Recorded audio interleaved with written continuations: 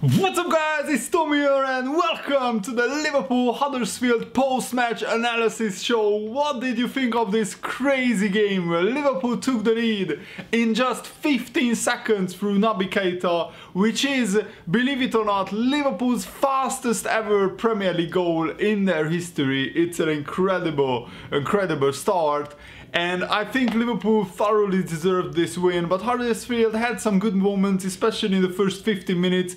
They actually had some big chances, which was a little bit worrying. Maybe the players thought this will be a very easy game but after the first like 20 minutes Liverpool really upped their tempo so let me know guys who was your man of the match in this one it's very hard to choose and Robertson, Mohamed Salah, Sadio Mane all had great games and Daniel Sturridge was unlucky uh, to have his goal disallowed by a correct decision and offside. And I apologize that this video is a little bit late. I was actually helping my girlfriend paint her bathroom. Yesterday we were all up working until like 1 a.m so i couldn't watch the game. I watched it on replay today morning so that's why this video is a little bit late. I hope you understand guys. I think liverpool this was the perfect preparation for the Barcelona game, which will be on Wednesday, and Liverpool will have a good like five, four or five days rest before that Barcelona game.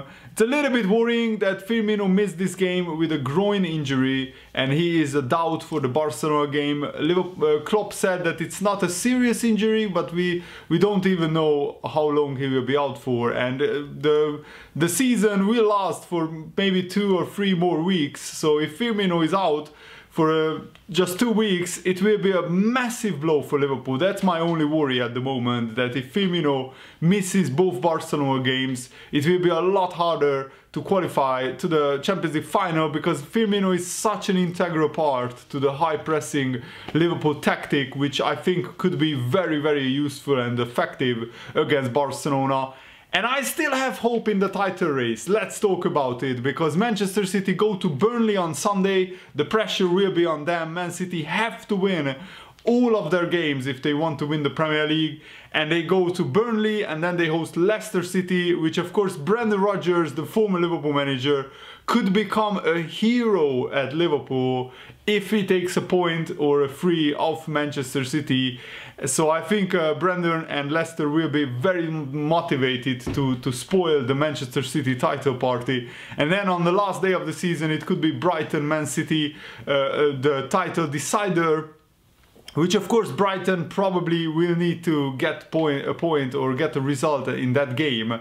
And I think Liverpool are doing everything they can to win this Premier League title. Even Pep Guardiola said that Liverpool deserve to win the Premier League.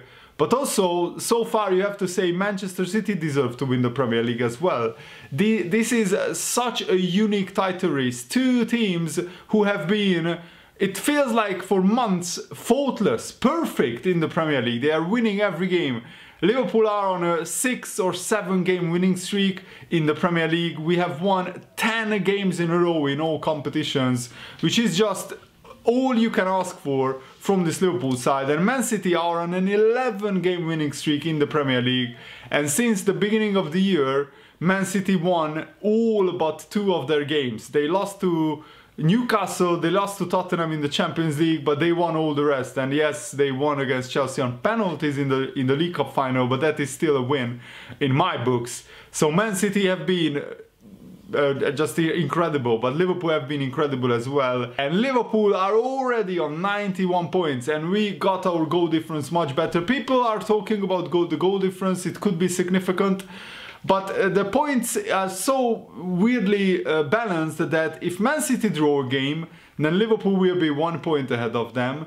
Uh, so I don't think goal difference only comes into play if uh, if Liverpool lose a game, because even if Liverpool draw a game, Man City, if Man City draw, um, maybe that will be the the time where goal difference come in. But I I can't really see Liverpool losing against Newcastle, but I really hope that uh, that we take every game seriously. And Jurgen Klopp himself uh, was very very honest in his post-match interview that he was hammering the, down the Liverpool players all week that this game is a difficult game and you have to take it 100% serious and you don't have to think about uh, how many goals we win the game by you just have to try and win the game because that's all that matters. And that's a very good attitude to have by Jurgen Klopp. And by the way what a battle we have for the Premier League top scorer award Salah and Mane have has a personal battle between themselves on uh, who ends up as the top scorer at Liverpool this season and who ends up as the top scorer in the Premier League this season. And this is, believe it or not, only the fourth time in Premier League history that from the same team two players have more than 20 goals this season and uh, there was a time where Liverpool managed it in the 2013-14 season where Luis Suarez scored 31 goals and Daniel Sturridge scored 21 goals. This time Salah has 21 goals already and Mane has 20 and they can add to that tally in the last two games of the season. And uh, Mane could have had a hat-trick today, he hit the post with a header which could have been three headed goals as a hat-trick by Mane. It would be absolutely incredible. Salah scored a brilliant two goals and uh, he got an assist as well. I think uh, the fact that even in the last 15 minutes Salah and Mane were going full pace at the Huddersfield defense it showed how much joy they are having uh, playing for Liverpool this season and they, they didn't want to just rest and conserve energy for the Barcelona game. They went full throttle, they, they wanted to score as many goals as possible and Mane missed a couple of big chances apart from scoring two goals. That's not a criticism, it's actually a compliment to Mane that the, Mane could have scored four or five goals alone.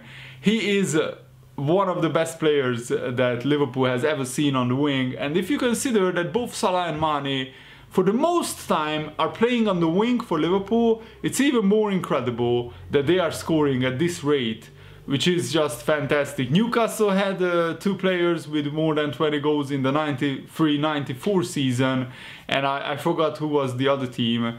Um, so actually only four teams had uh, two players with 20 plus goals in one season in the Premier League. And also, Mohamed Salah is the has the most goals in his first 100 appearances for Liverpool. 69 goals. That is incredible. Last season he scored 44 goals and this season he's on, on 23 goals I believe.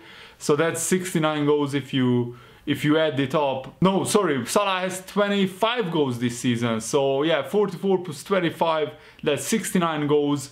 It's an incredible feat, honestly. Like no other Liverpool player has more goals and or even as many goals as Salah in the first 100 appearances. Just to compare, Luis Suarez is not even in on this list of the top 10 Liverpool goal scorers after 100 games. But Fernando Torres, who had a brilliant start to his Liverpool career, he only scored 61 goals. I say only in like like not not very serious because that's still an incredible return. So basically, every 10 games, uh, Salah scores uh, 7 goals for Liverpool, which is an incredible return. I'm so happy with the form that Salah and Mane are in because this is what we need in the run-in. And uh, we didn't miss, of course, Firmino in this game, but we might miss Firmino in the in the Huddersfield game. Sorry, in the Barcelona game. Uh, let's talk about Alex Oxlade-Chamberlain and Xherdan Shaqiri, who both had very good cameo cameos in this game. And I was so happy to see Alex Oxlade-Chamberlain smile and enjoy playing football. And the whole stadium was buzzing when Alex Oxlade-Chamberlain came on. I was so so happy to see that. And uh, when Alex came, Alex Chamberlain came on, Chambo as they call him, he he made a run in the box and he did a brilliant fake shot, completely sending the defender uh, to the dressing rooms.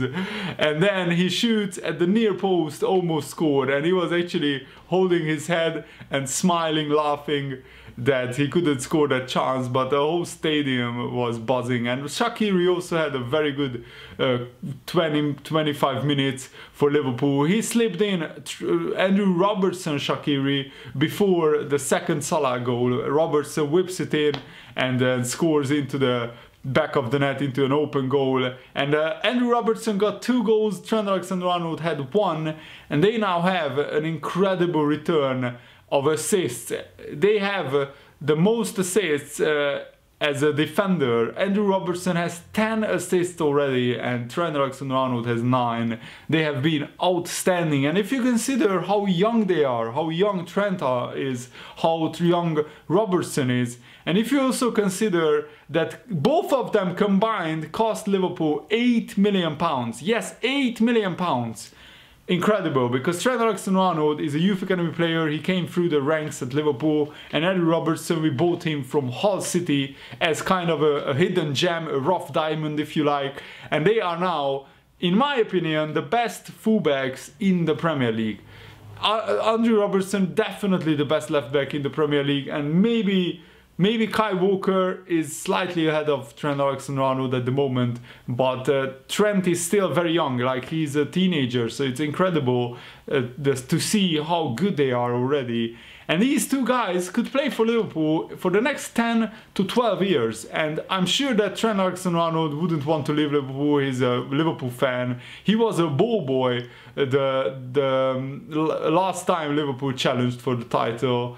I remember seeing a picture when we played Chelsea in the 2013-14 season and uh, Trent Alexander-Arnold was a ball boy in that game. And also Andrew Robertson is of course now uh, I'm, I'm sure a massive Liverpool fan and he's Scottish so he wouldn't really want to leave the Premier League. This is the perfect league for him. He wouldn't want to play for any other club apart from Liverpool in my opinion so the title race is still very finely balanced. Yes Manchester City are the favorites. Yes if they win all their three games they win the title. But that's all you can ask for from Liverpool to be almost perfect. And we have been almost perfect in the in this season. And if anybody criticizes this Liverpool team after the season they, they are having, they are a fool, honestly, because this is the best ever Liverpool season in their history in terms of uh, how many wins we have in the league, how many points we got in the league, 91 points, and we have still two games to play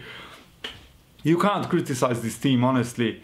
You can, uh, of course, uh, nitpick some results which didn't go our way, but Man City had some results which didn't go their way. This would be unprecedented if both teams went through the run-in of the last 10 uh, games of the season and win all of them. It would be unprecedented. I still feel that there is one twist at least in the title race and I hope that that comes uh, in the Burnley game.